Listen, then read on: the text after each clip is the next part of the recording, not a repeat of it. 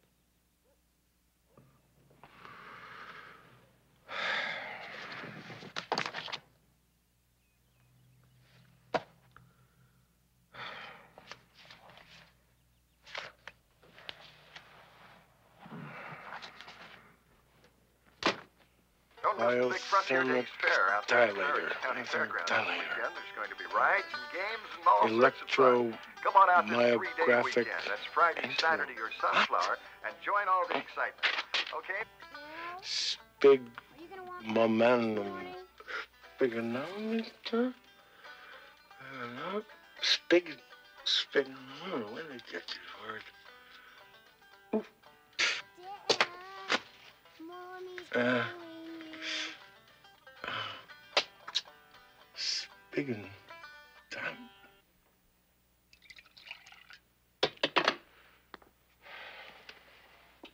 What time did you get to sleep last night? Who knows?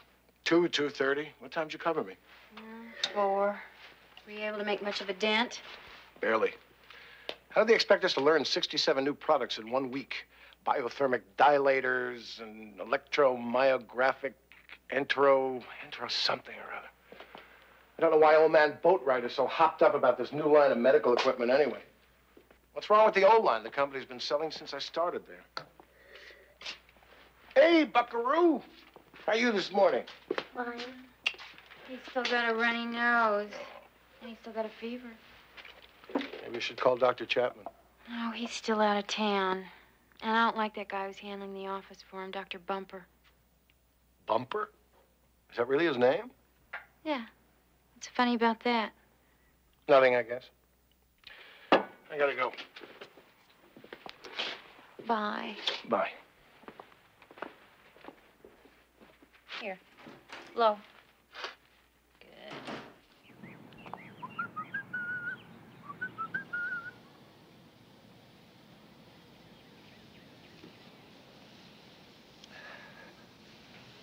Morning. Morning, Bill. Hey, Ginger had her litter last night. Want to see him? Maybe later. I'm coming home for lunch.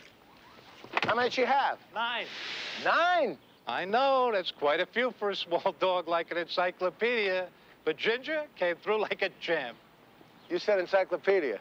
Yeah. Encyclop... Ginger is an encyclopedia?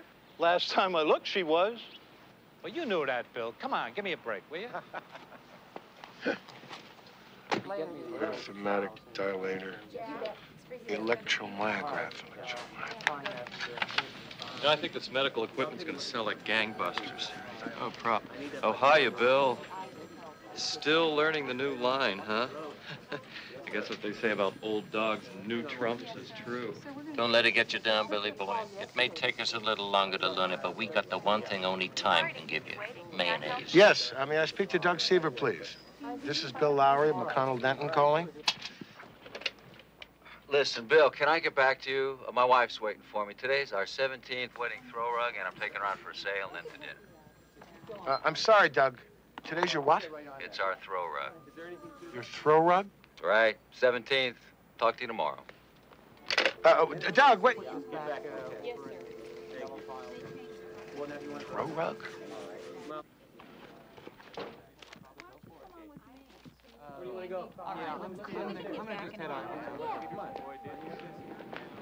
Well, hi, Robbie. Oh, hey, Mr. Lowery. You know that new girl in accounting, Barbie? Sure. Well, I've been asking her out and asking her out, and she finally says okay. She's gonna be here in five minutes, and I can't think of any place that'd take her for dinosaur. I mean, I thought of the Capitol Inn, but it might look like I'm trying too hard. What do you think? You're planning to take this girl out for dinosaur, huh? That's right. Dinosaur? Uh-huh. Wait a minute. You're saying dinosaur? Oh, yeah. I'll see you guys down there. Okay. What is this, some sort of new wave expression or something? Saying dinosaur instead of lunch? No. Then what are you talking Look, about? Mr. Lowery, if you don't want to, I mean, if you can't think of any place, I'll just ask somebody else. I think they're working for a man, Robbie.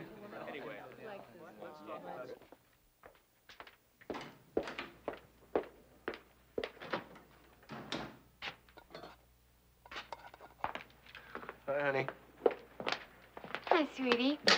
How was your morning? Pretty good, I guess. Except for one really strange thing that happened. I was leaving work. And this kid, Robbie, works in the mailroom. He stops me and he says, Excuse me, sweetie. I don't mean to interrupt you, but this is going to be done pretty quick, and I wanted you to look in on Donnie before we eat. Was something the matter? His cold's getting worse. He's so pale and awfully congested, and he didn't touch his dinosaur when I took it into him. What? What did you say? I said I think Donnie's cold is getting worse. No, no, no. Did you say dinosaur? Mm-hmm. He wouldn't touch it, and it's his favorite tuna fish. Why are you saying dinosaur? What do you expect me to say? Did Robbie or someone from work call you and tell you to say dinosaur as a joke or something? Robbie, who's Robbie? Why would he call me? Then why are you saying dinosaur instead of lunch? Dinosaur instead of lunch. Bill, what are you talking about? Can't you hear what you're saying? You're saying Donnie wouldn't touch his dinosaur. I know. And I'm a little worried. Dinosaur? Come on, Kathy. It's lunch. The word is lunch. Lunch? What has lunch got to do with anything? What has lunch got to do with any? All right. Okay. What does lunch mean? Bill, you know what lunch means. What does it mean? Tell me! It's a color. You know, sort of reddish, a light red. Honey, this is this is almost ready. Would you please go up and check on Donnie while I dish this up?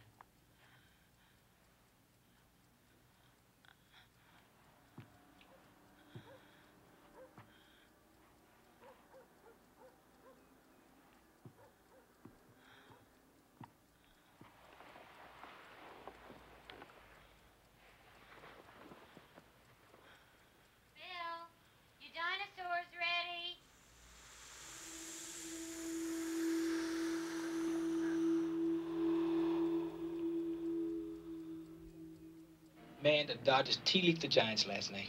They almost lost it, too. If Sachs hadn't hit that luggage run home in the ninth. Count uh, you, Bill. Oh, I'm a Saddle Desert Streisand fan anyway, but her son movie's absolutely candles.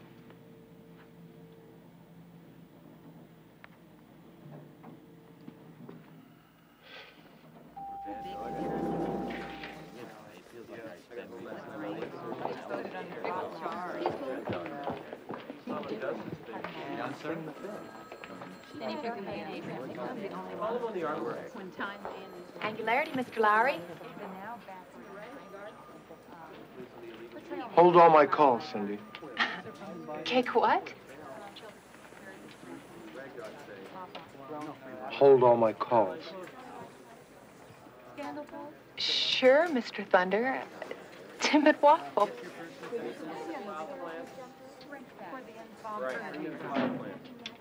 Timber Hinge. Pine the fine, you capital.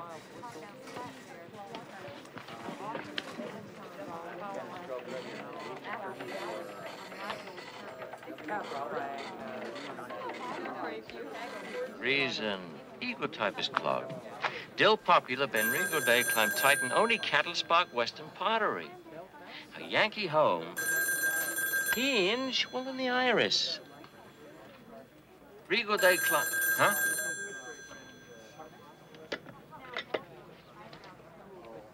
Timber hinge. Big torch to zoom this carload whistle. Use Metro Panther call, Blade. Hinge.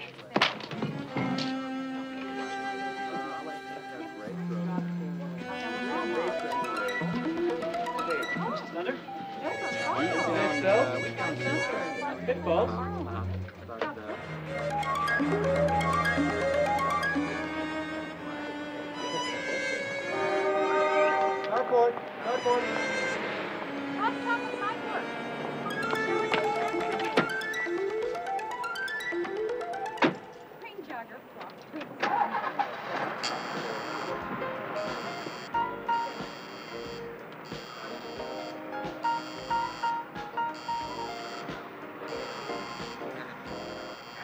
Resist session on weather.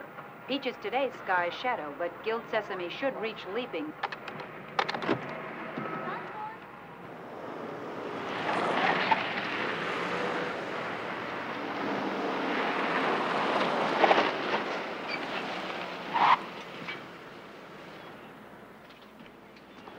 Hinge. Churchill and dipping but carriage, huh?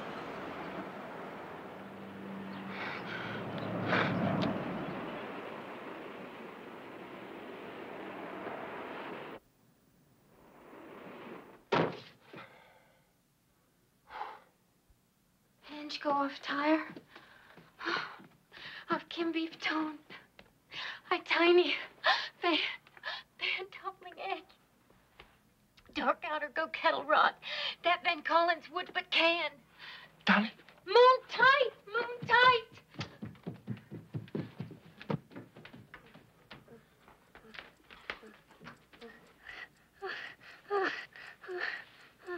He has a very high fever. He's breathing. Could be pneumonia. We better get him to the hospital right away. Get the blanket. Get the blanket. Kathy, the blanket!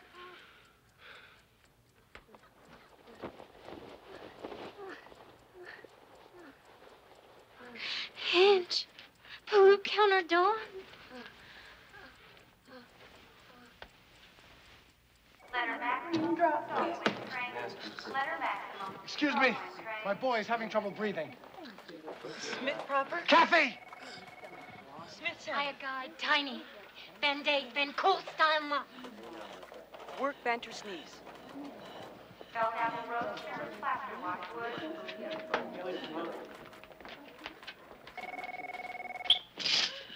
Was biomass handy race?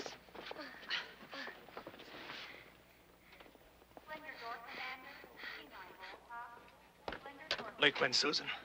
So quick red.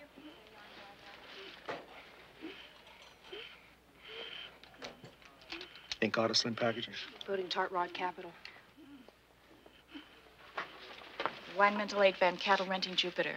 Uncle Confidence? Slot. Slot Lebate renting.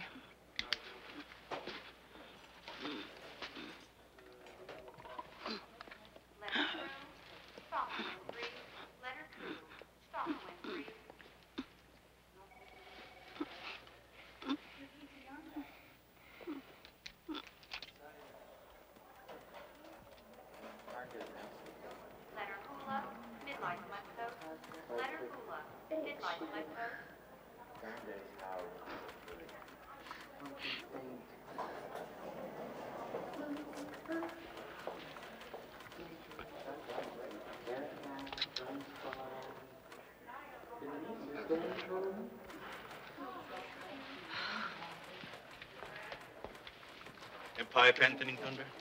Pete. Guide Crest top near pipe.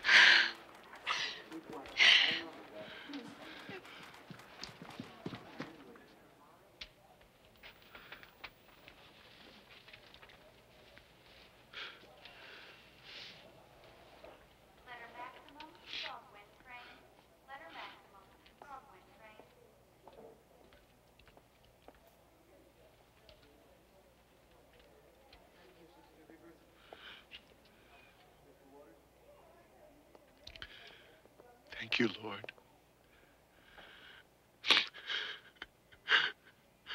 Thank you very much for my boy.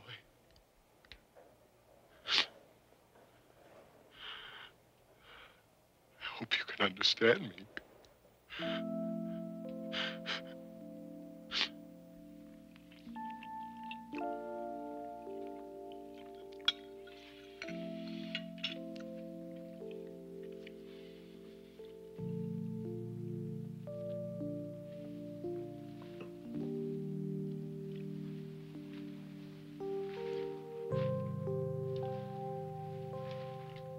Palette sand to desktop hinge.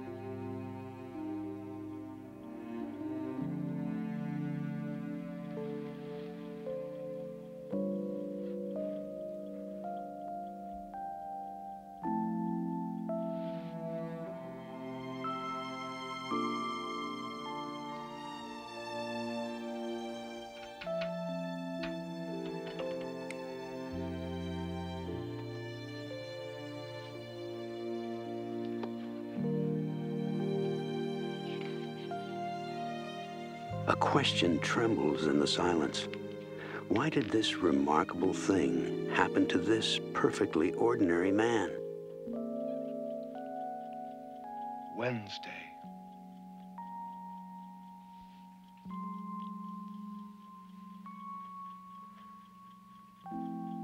Wednesday. It may not matter why the world shifted so drastically for him.